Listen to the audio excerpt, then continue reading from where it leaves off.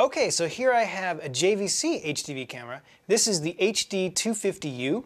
Uh, unlike some of the other HDV cameras, this one actually shoots 720p and has the capability of doing 24p.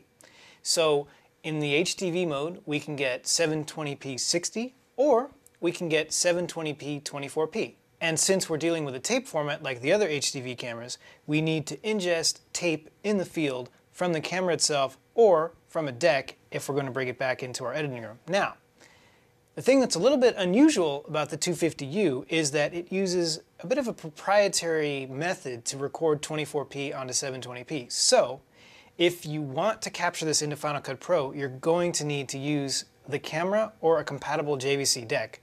Most of the other HDV cameras and decks out there won't be able to play these tapes back properly. So when you get out into the field, make sure you have that worked out ahead of time so that you don't wind up in your editing room without the capability of capturing.